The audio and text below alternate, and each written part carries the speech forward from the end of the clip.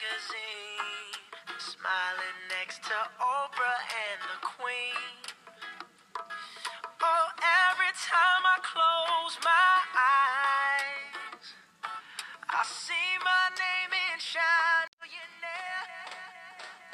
I would have a show like Oprah. I would be the host of Everyday Christmas. Give Travie a wish list. I'd probably pull a Angelina and Brad Pitt and adopt a bunch of babies that ain't never had shit. Give away a few Mercedes like, here, lady, have this.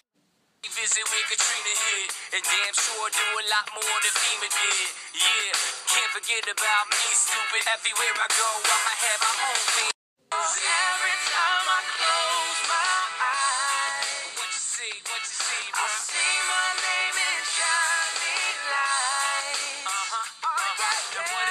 Yeah.